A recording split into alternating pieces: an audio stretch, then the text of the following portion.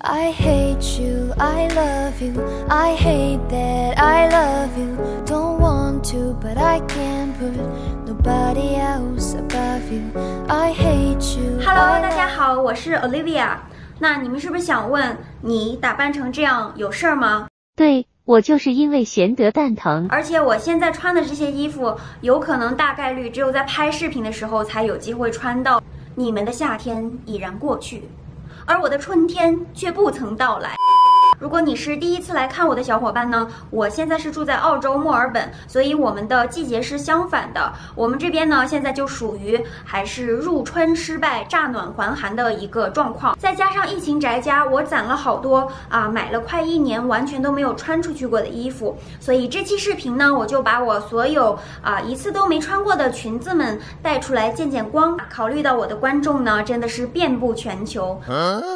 这期视频呢，我也会帮北半球的小伙伴们展示一些如何带下裙入秋，就是叠穿混搭的小技巧。然后南半球的小伙伴们，就让我们一起来期待即将到来的春天吧。好的，那我们第一个要来说的呢是这条白色的纱纱裙，呃，这应该是我本期视频里面最喜欢、最期待穿的一条，并且也是单价最高的一条了。它是来自这个 Philosophy 的 Lorenzo Stirafini。嗯，意大利的名字啊。最初我看到这条裙子是我很喜欢的一个英国博主叫 Tamara，我看她视频里面穿就超美的，然后我就立刻点她的那个链接买了。哦、对，今天我所分享的所有产品呢，我也会写在底下的那个 description。呃，B 站的话呢，就看置顶的第一条评论就可以。Philosophy 这个品牌呢，可能大家听到的不是特别多，但是我相信你肯定见过很多他们的设计。它的设计呢，就是把复古和摩登融合的特别好啊、像是肩部做一些设计，然后他们的裙子呢，也有好多明星穿过吧，就已经不算特别小众了。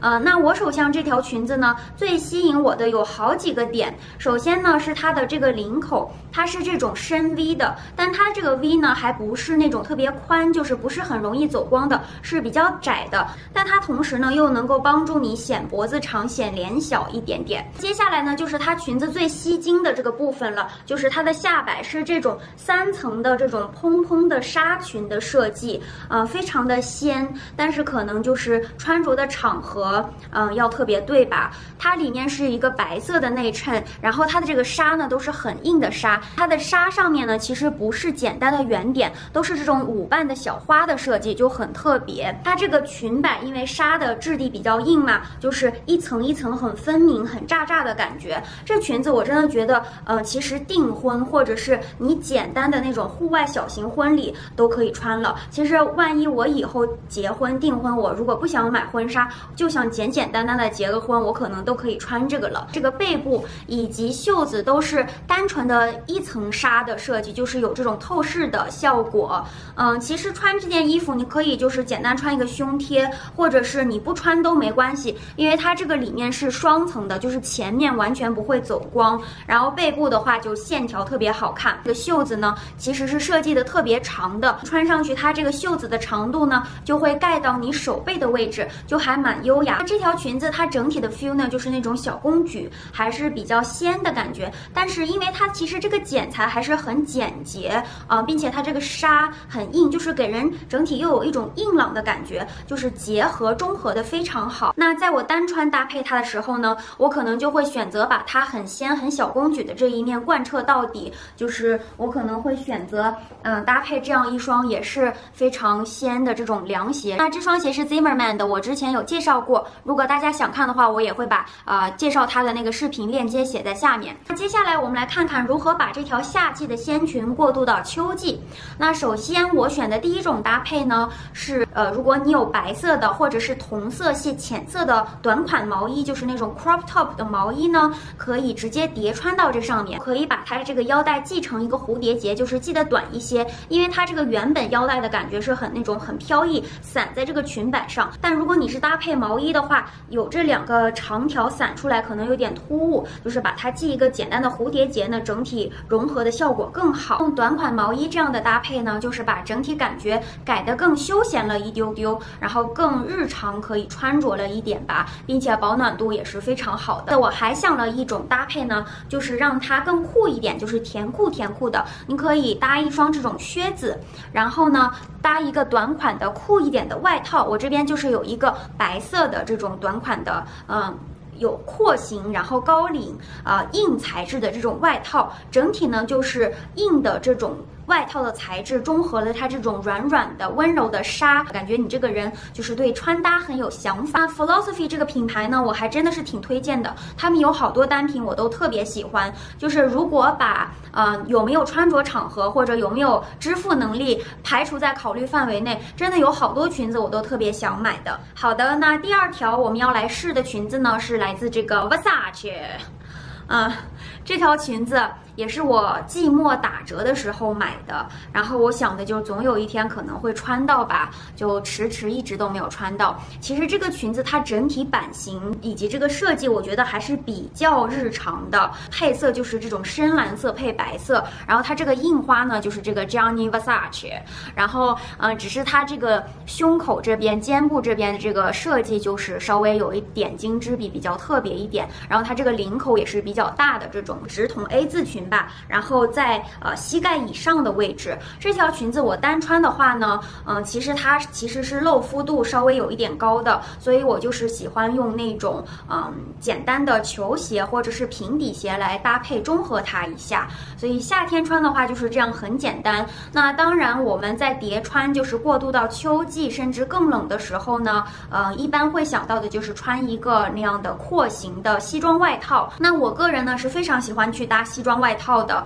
我衣橱里有很多西装外套，就是啊做各种搭配都很方便。然后西装外套它这个肩部硬挺廓形的这种感觉呢，穿在这条裙子外面呢，就更加有一种 girl boss 的感觉。我用来搭配的这个西装外套呢，它是算是长版的，就是刚好会盖到你的臀线以下。那穿在这个裙子外面呢，就还会露出裙子的这个半截小边边，就是更加有层次感吧，还算是蛮职场的，就是上班也可以穿。呃这。一身如果上班穿的话，你其实就可以选择搭这种很简单的尖头黑色小高跟鞋。我这个算是小猫跟的这种，然后呃就是会比较的优雅，然后适合职场吧。或者呢，其实我更加喜欢的呢是去搭一双这种的短靴。我这个就是稍微有一点点跟，然后这种亮皮的短靴，这样搭配起来整体一身就是更加酷一些。减少了一些露肤度吧，尤其是你在秋天穿的话呢，会更保暖一些。你也可以穿一个打底的裤袜，就是更加符合秋季季节整体的这种穿搭的感觉。那其实把它带到秋季，第三种穿搭呢，你还可以用一个黑色的羊绒衫或者是黑色打底衫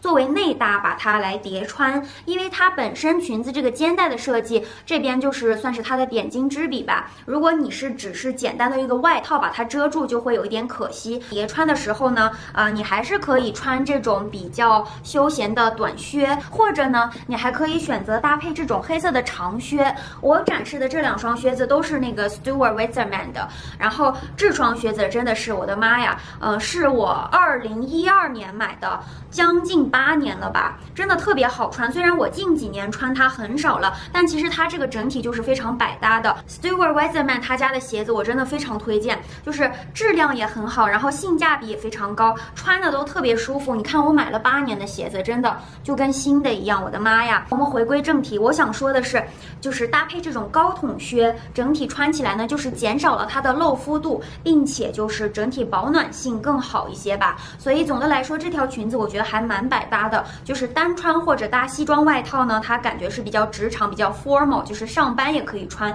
然后做个内搭，搭个高筒靴就更休闲一点，周末。啊，日常都可以穿。好，那接下来我们要来说的呢是这样一条半裙，它也是这种一层一层蛋糕裙的设计。那它最特别的点呢，就是这种波光粼粼，然后渐变的 pastel 色系的美人鱼裙。我买它的时候真不知道怎么想的，因为它其实是很难做搭配的，就是它下面这个设计已经很突出了，远看的话就是这种波光粼粼很吸睛嘛。但是你近看，它这个布料是很薄的，嗯，有一种塑料感，所以它才能。做出这种反光的这种波光粼粼的感觉嘛？但如果你搭配的不好的话，就很容易显得 cheap。那最简单的可能就是夏天穿一个短款的那种 crop top 啊、白色或者黑色，然后直接主要突出它这个裙子吧。鞋子的话呢，就是简单，你可以穿那种球鞋，中和一下它这个感觉，或者呢，也可以穿一个平底的那种 loafer，或者穿一个白色的拖鞋都是可以的。那这个裙子呢，其实是很容易就可以过渡到秋季甚至是冬季的。比如说秋季的话呢，你还是可以搭配这种中筒靴，然后同样就是是选浅色色系，我觉得会比较好，就是整体一身看起来质感会稍微高一点。秋季的话呢，上身就是可以穿那种紧身一点的毛衣或者打底衫，把它系进去，还是凸显它这个裙子整体的样子。外面穿一个短款的这种外套，甚至可以配牛仔外套，中和一下它整体这种小公主的感觉。然后如果再冷一点呢，也没有关系，你里面是很容易可以去搭配打底裤的，因为它这个裙子的长度呢是到你脚踝以上的位置，所以你穿打底裤，在它加上这个裙子就是很保暖的，再可以搭配一个靴子。我觉得最难避免的一点呢，就是搭配不好，真的是有一点显廉价的感觉。所以这条裙子真的，大家有什么建议呢？也可以弹幕或者是留言告诉我。OK，那接下来要来说的一条呢，就更加的不日常，却也更加的仙了吧。然后就解释了我为什么一次都没穿过它，因为真的是没有场合。这条裙子啊、它是来自 Alice McCall 这个品牌，但我真的标签都没有拆。嗯，它是一个澳洲的一个品牌，然后他们家所有的设计都是非常女性化、特别仙的那种感觉。他们有很多裙子，包括像这一条，都可以算作像 occasion wear 了，就是呃需要有场合才穿的一些裙子吧。这条裙子真的是，我为什么要买它呢？它当时我记得，其实我买它已经超过一年时间了。当时它真是打骨折，就是我记得原价它要八百多澳币，然后我买的时候才两百多吧，真是打折打非常狠。然后我最喜欢一点，当然首先是它这个色系，它就是这种淡淡的紫罗兰的色，就前段时间很流行吧，可能现在稍微热度退了一点。这种色系就是穿上去很显白，它这个领部呢也是算是这种 V 领，然后呢肩膀呢又是廓形的这种纱纱的，会让你的头肩比显得很好。然后它背部呢是这种大露背深 V 的一个设计啊、如果你背部线条练得好一点的话，也很好看。然后它这个裙摆呢，你可以仔细看，它是有这种蕾丝的一层拼上这种雪纺，然后里面呢有一层紫色的打底。这个雪纺算是这种木耳边吧，也是一层一层的，但是它不是这种横向的，像是蛋糕裙的这种层，它是竖向的这种杂的，一层一层的，所以穿起来呢，整体是会有个拉长的效果，就不会像蛋糕裙那种可能会有一点显胖、显臃肿。这一条它裙摆穿上去呢，是有一点鱼尾的感觉的，然后你穿个高跟鞋，就是刚好到脚面的位置，真的穿起来又仙又优雅。我唯一能想到穿它的场合，可能就是比如说有朋友结婚，就是那种草地婚礼，你穿一个这种就还比较适合，但前提是大大家可能都 dress up，然后你穿这个比较合适吧，不然就可能有点突兀了。我不会把它啊、用作。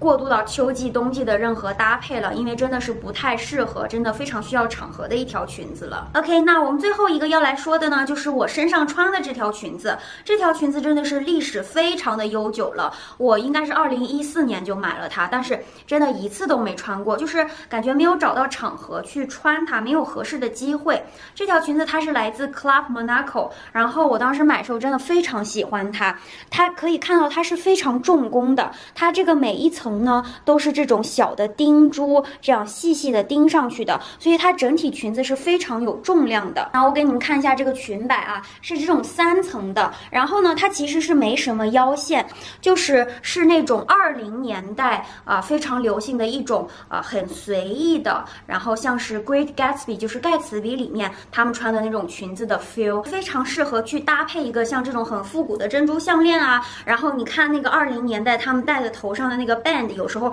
这儿还有跟羽毛的那种搭配，就是这条裙子真的是完美的复制了那时候的那种穿搭。这边都是有钉珠的，然后细细的一个肩带，是很适合像是啊、晚上有那种草地音乐会，或者就是简单的在海边有草地的那种酒吧，小酌一杯，其实就可以穿这种有灯光，然后会映的你这个上面的这个小珠珠反光，然后那种感觉。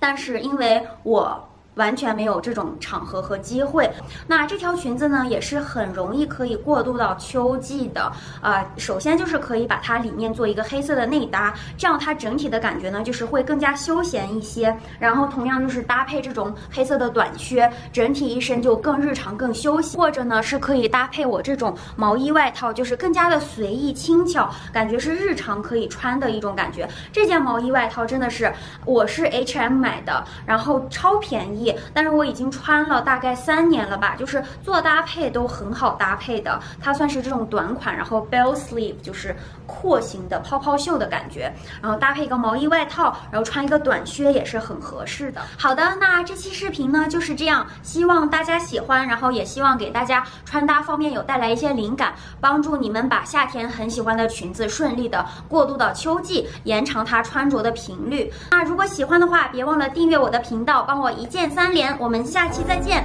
拜拜。Still in love with me, but your friends don't know. If you wanted me, you would just say so. If I were you, I will never let me go.